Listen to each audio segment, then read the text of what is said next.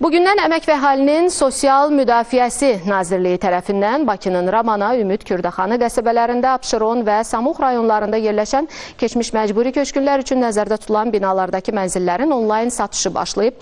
Satış elektron portal vasitəsilə həyata keçirilir və proses iyulun 1-nə kimi davam edəcək. Satışa çıxarılan mənzillər tam təmirli, indiyədək istifadə olunmamış çıxarışlı, bankların ipoteka krediti ilə də alınması mümkün olan mənzillərdir. Bu portal artıq bir müddət əvvəl vətəndaşların istifadəsinə verilib və qeyd olunan mənzillərdən almaq istəyən şəxslərə portala daxil olaraq mənzillərlə tanış olmaq və mənzili seçmək imkanı yaradılıb.